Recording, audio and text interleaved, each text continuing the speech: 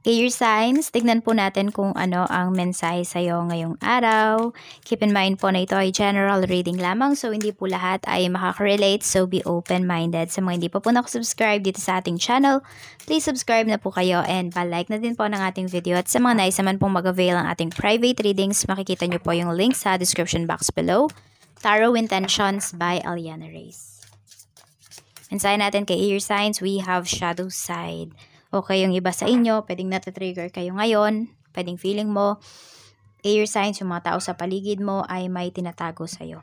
So, sobrang aware ka ba sa mga nangyayari sa paligid mo? So, do some shadow work. Paano nga ba yon? So, ang kailangan mo pong gawin is sulat ka sa papel. Aminin mo lahat ng takot mo, ng mga ninanais mo sa life, lahat ng traumas mo. Maging honest ka sa sarili mo air signs. So, tignan natin. You made me realize my flaws. So, yung flaws naman natin is part of ourselves. That is our features. So, pwede po na may mga insecurities ka dito. Air signs. So, do not compare yourself with others. ba? Diba? Masama yun eh. Kasi parang binababa mo yung sarili mo kapag ganyan. Mm-mm, nagsiself-sabotage ka. Tignan po natin kung ano ang mensahe para sa iyo. Spirit guide, mensahe po natin kay air signs. Ano po po ang mensahe natin for air signs? We have unexpected income. Meron tayo ditong courtship. So, iba sa inyo ito. Merong isang tao dito na naniniwala sa kakayahan ninyo, air signs. Pero kayo mismo kasi yung wala. Okay? Parang pinagdududahan nyo yung sarili ninyo. Siguro more on pinanghihinaan kayo ng loob. Kaya ganyan yung nararamdaman nyo we have occupation. Ayan, meron din ako nakikita dito. Pwedeng mabigyan kayo ng tip ngayong araw. Tapos, iba naman po sa inyo ay merong, itong courtship na to, pwedeng merong request, merong favor na hihingin sa inyo, air signs. Ayan. Kaya makaka-receive kayo ng ano dito, unexpected blessings. So, we have marriage. Okay. Air signs, kung sino man tong nanliligaw sa'yo, pwedeng alam mo, pwedeng mapunta sa malalim na ano yan, na relasyon. Tignan natin. What is marriage? Pwede rin naman na may kontrata. Some of you, pwedeng about talaga to sa business, about sa trabaho, pero pwede rin about sa marriage talaga.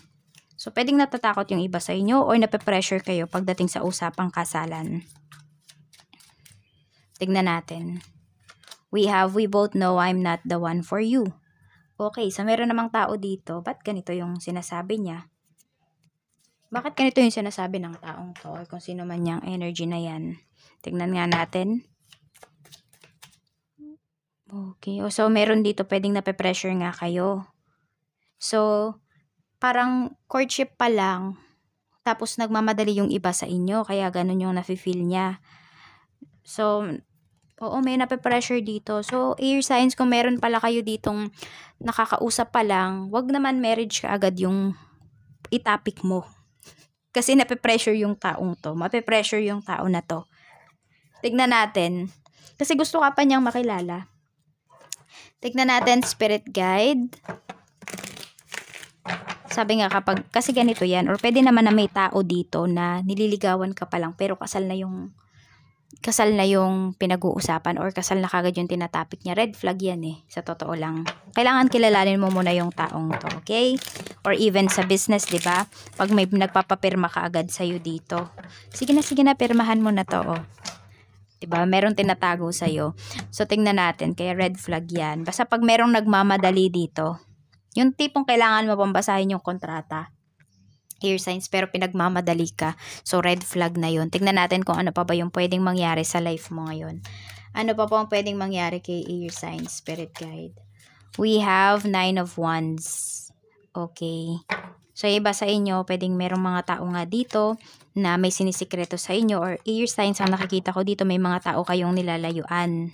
Ayan, pwede may mga tao kayong iniiwasan. Para bang kasing nakakapagod yung energy nila. Ayan po, we have the tower. So, meron dito pwedeng magko-collapse. Okay. Collapse, pwedeng, ayun. Meron dito pwedeng mahimatay ngayong araw. So, magbaon po kayo ng tubig kung saan man kayo pupunta. Or, stay hydrated. Air signs. Meron, sa amin nga ngayon, no, may, ano, may bagyo. Single number one yata kami. Hindi, hindi sure, no. Pero, ano, napakainit. As in. Tingnan natin. We have two of pentacles. So, ayan po. Napakahalaga ng mga gagawin mong decisions ngayong araw na ito. So, may mga tao na mawawala sa life mo. At may mga tao din naman na mag stay Air signs. Tingnan natin. So, you, hindi mo pwedeng i-please or hindi mo kayang i-please lahat ng tao sa paligid mo. So, do not please them. Mas i-please mo yung sarili mo, air signs. Tingnan natin. Ano pa po ang mensahe natin? Be honest lang with yourself. Yun yung pinakakailangan mo. Pagdating sa trabaho, we have the adversary. So, yung iba po sa inyo, ang tingin sa inyo ng mga tao dito is may kalaban ninyo or kalaban kayo. Yan yung tingin. Feeling nila, kakompetensya nila talaga kayo. We have meditation. Ayan. So, pag-isipan mong mabuti, okay, yung mga hakbang na gagawin mo dito pagdating sa iyong trabaho and yung mga sinasabi mo. Ear signs kasi pwedeng ma-misunderstood ka kasi nga may mga tao dito na parang kahit tama naman yung sinasabi mo ay pinapalabas nila na mali yung sinasabi mo dito. Ayan. So magnilay-nilay yung iba sa inyo dito. Magmuni-muni kayo. Parang bago kayo may sabihin dito sa taong to or kung sino man tong makakausap ninyo ngayong araw, pagmunihan nyo muna or pag-isipan nyo munang mabuti. Pagdating naman sa kaperahan, we have mischief. Ingat kayo kasi baka naman may maiskam pa dito. Yung iba po sa inyo ganito, payment first yung gawin ninyo. Kung meron man ditong hihingi ng favor sa'yo, favor no, pero alam naman niya, bibigyan ka naman niya ng pera.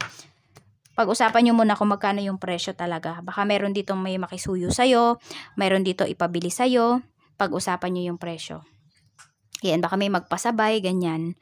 So, meron naman dito, ayan. Yung iba po dito, pagtataguan na lang kayo. Parang bigla na lang mawawala regarding your finances. Kaya po mag-iingat kayo, ear signs. pagdating sa money. Mm, Kasi iba sa inyo, oh, parang ang bilis nyong, ano dito, ang bilis nyong mawala ng pera. Sa totoo lang, tingnan mo, parang kakalapag lang sa palad ninyo, wala na, ubos na. Parang naglaho na lang na parang bula.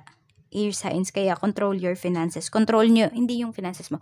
Kontrolin mo yung mga gastos mo dito. The hunter, pagdating naman sa negosyo, baka may naghahanap sa inyo dito I mean sa negosyo, parang madaming naghahanap sa mga products ninyo. Pero alam nyo, ear signs, may mga tao dito na parang tinetest lang kayo. So, mag-ingat po kayo dito sa mga tao na parang tinetest lang kung ano ba yung products ninyo, ano ba yung kakayahan ninyo dito sa negosyo. Ayan, so divinely guided naman po kayo pagdating dito sa inyong business. Kaya kung may naniniraman dito sa negosyo ninyo, may naghahanap man air signs ng mga bagay na para bang ikakapahamak ninyo, mga bagay na parang ikakasira ng business ninyo, ay huwag kayong mag-alala kasi divinely guided kayo. Pero syempre, kailangan nyo pa rin maging maingat dito. Kailangan aware pa rin kayo sa mga kilos ninyo. Yan. So, maganda po kasi yung takbo ng business ninyo dito. Tapos, meron pang gusto yata makipag-partnership sa'yo.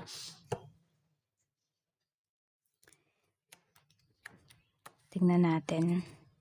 We have death card. Okay, so yung death card na to, huwag kayo matakot ito lang po ay pagbabago. So, nakikita nyo, siguro mga, may mga nawawala dito sa life ninyo, yung money ninyo, ano ba yung approach na need ninyong gawin, may mga relationship na nasisira dito. Pwedeng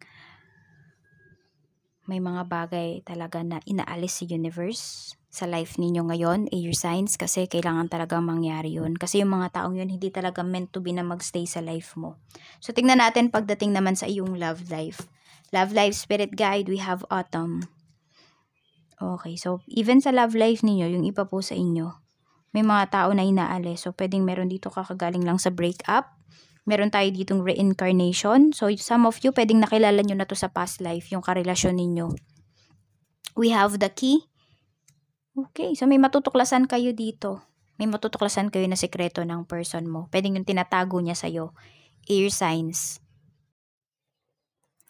Okay, the key. Ayan po. So, may mahalagang mangyayari sa relationship ninyo. Meron dito kung nag-aaway kayo. More on anak yung nakikita ko dito. So, pwedeng may mabubuntis. Kaya yung iba sa inyo, ayan ha, we both know I'm not the one for you. For some of you, ingat po kayo kung may kakonek kayo dito na tao. Kasi pwedeng mabuntis yung iba sa inyo, ear signs, or pwedeng makabuntis kayo, ear signs. Tapos, alam nyo yun, alam nyo na hindi nyo talaga mahal yung tao na yun. Kaya mag-iingat kayo. So, wag nyong ilagay sa isang posisyon yung sarili ninyo na mahihirapan kayo. Tignan natin. Or alam nyo na hindi nyo gusto yung bagay na yun. Kasi mahirap pag may baby na involved na. We have date. So, iba sa inyo, baka may magyayang mag-date sa inyo ngayon. We have ego, vanity, and pride. So, tignan natin. Ayan po. So, proud talaga yung iba sa inyo, sa sarili ninyo, ear signs. Kaya lang, ear signs is, ayan po, hinay-hinay lang kayo dito. Ayan, nagiging palaayos yung iba sa inyo, yun yung nakikita ko. So, pwede po na mas binibigyan nyo talaga ng pansin yung inyong sarili. Tignan po natin ano yung advice sa'yo, ear signs. Ano po ang advice natin, spirit guide for ear signs? We have Six of Swords. So, parang it's time to move on daw. Meron kayong mga bagay na kailangan talagang iwan, air signs. Alam ko yung iba sa inyo naguguluhan pa kayo. Kaya, do some shadow work, air signs, para malaman ninyo ano ba yung mga bagay na dapat nin na ninyong i-let go, yung mga bagay na dapat na ninyong iwan. Ayan po. Tignan mo, parang family to, ba? Sabi nga, we both know I'm not the one for you. So, may inalisan ba kayo ditong relationship? May inalisan ba kayo dito na marriage? Some of you are separated. Pwedeng naging malinaw na talaga na kahit na anong gawin ninyo, ear signs, kasi hindi kayo kayang mahalin ng taong to. Yan. Pero alam mo, nakikita ko sa taong to, pag wala ka na ear signs, pag wala ka na sa life niya, tsaka niya ma-appreciate yung presence mo. Ayan na, nagkamali pala siya sa'yo. So, ito po yung lucky numbers mo. 27, 4, 34, and number 3. Maraming maraming salamat sa iyo, your signs, and see you again tomorrow. Bye-bye!